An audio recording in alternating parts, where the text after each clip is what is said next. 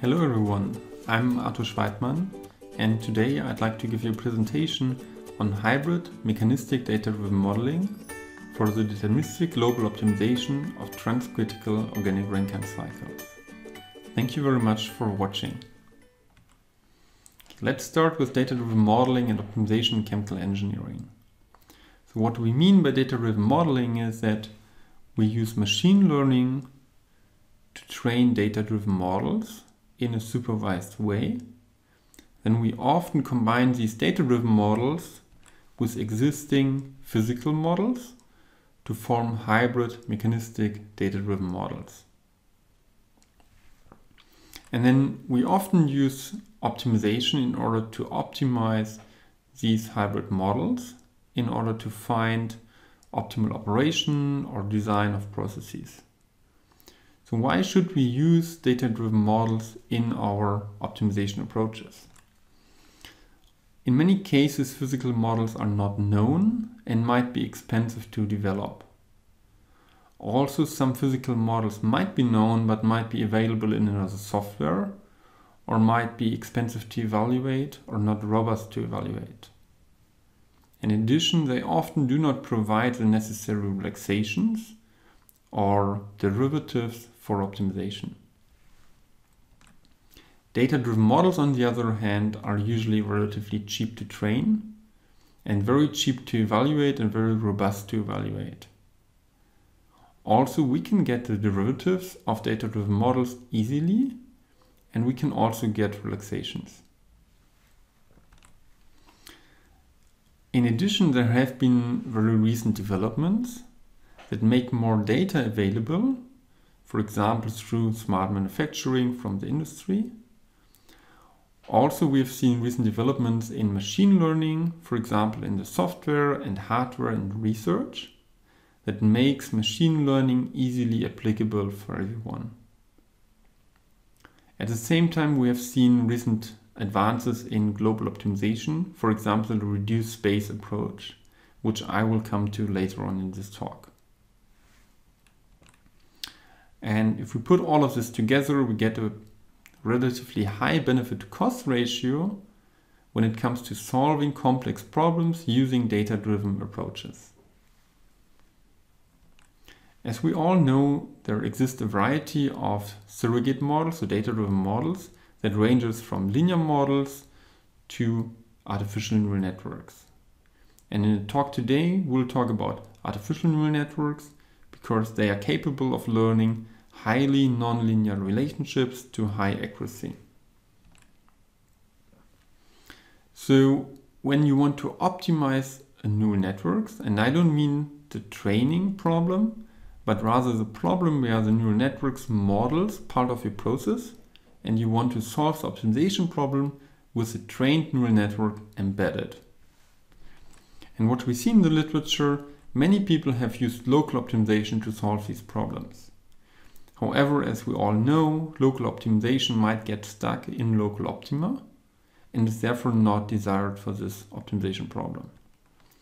A few people have used stochastic global approaches, for example, genetic algorithms or simulated annealing for these problems. However, stochastic global methods cannot guarantee to identify global optimality within finite time. Um, what is desired for this optimization is deterministic global approaches because they can guarantee to identify global optimal solutions.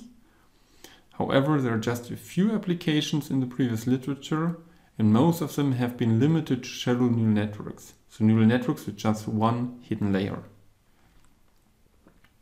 So why is deterministic global optimization with neural networks difficult?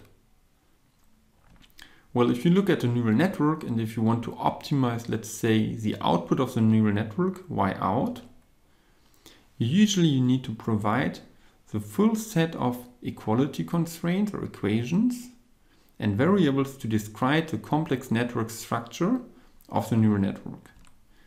And that leads to large scale optimization problems which are difficult to solve. So what we have introduced recently is the reduced space formulation for optimization problems with neural networks embedded. And what we do is we solve the equality constraints of the neural network for the output y out.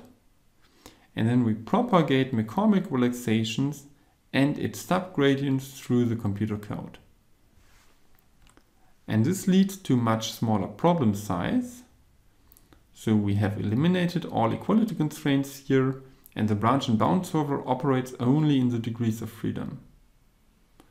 And this also has the advantage that the subproblems of the branch and bound algorithms, so the upper and lower bounding problems, are much smaller.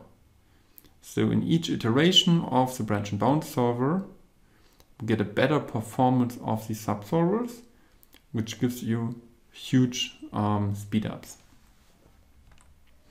And we've implemented this reduced space approach in our two software tools, Melon and MAiNGO, where MAiNGO is our global solver and Melon provides machine learning models for it.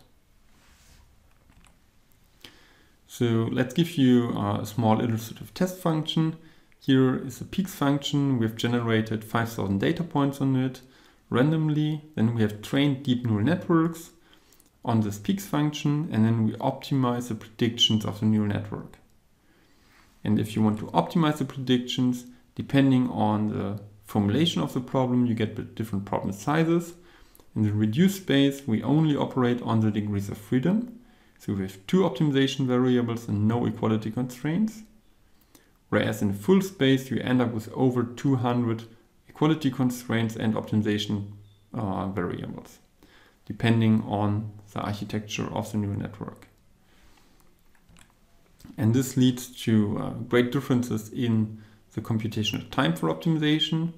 So for the full space, what you can see here is that we are not able to solve this problem within an hour um, using either of these solvers here. Whereas in the reduced space, using our global solver MAiNGO, we can solve the problem within the range of minutes. So we get huge speed ups in the reduced space formulation. If you want to use these tools in your research or industry, uh, you can, for example, download Melon. Melon is our machine learning models for optimization tool. It interfaces to our open source solver uh, MAiNGO, and we can also export the problems to GAMS. And we also interface to state-of-the-art machine learning tools like Keras, TensorFlow, and so on. And we've implemented artificial neural networks and Gaussian processes so far, but we are still extending this framework. Okay, let's move on to the case study. We are looking at organic Rankine cycles, which uh, can be used to recover power from low temperature heat sources. However, ORCs may suffer from low efficiencies, and therefore we look at transcritical operation of it. So uh, the low pressure part is operated at subcritical temperature, uh, pressure level, whereas the high uh, pressure part is supercritical.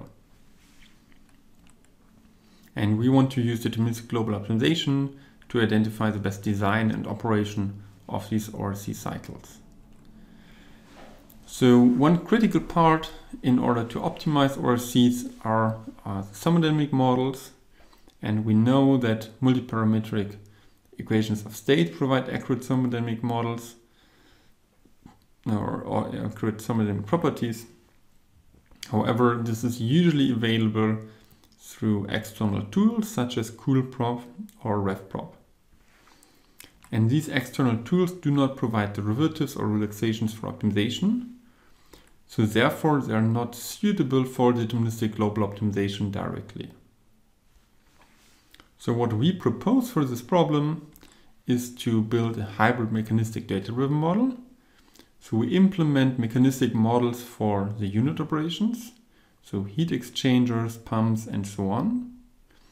And we combine this with data-driven models for the neural networks. So we train data-driven models on data generated from, for example, CoolProp. And then we combine the data-driven models with mechanistic models for our process optimization. In our case study here, we have two objectives. First of all, we maximize the power net output And then we go for um, economic objective, which is the levelized cost of electricity. We have a few uh, degrees of freedoms, which are the pressure levels, mass flow, evaporator outlet temperature, and so on. And then also what we did is we discretized the pinch inequality for the evaporator in order to avoid, uh, avoid temperature crossovers. Okay, let's go to the accuracy of the neural networks. So what we did is we generated 10 to the power of 5 data points for each working fluid and for each region.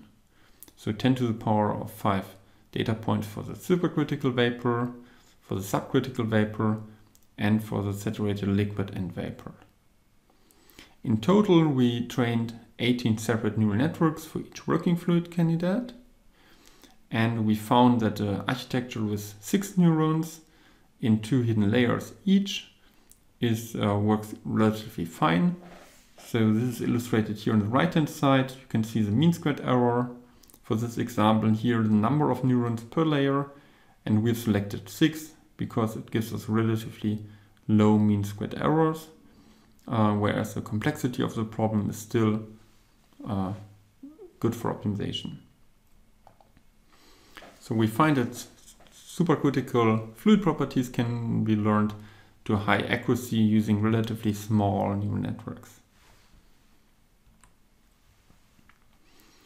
Okay, um, so before we go to our supercritical case study, let's first discuss how the neural networks affect the optimization.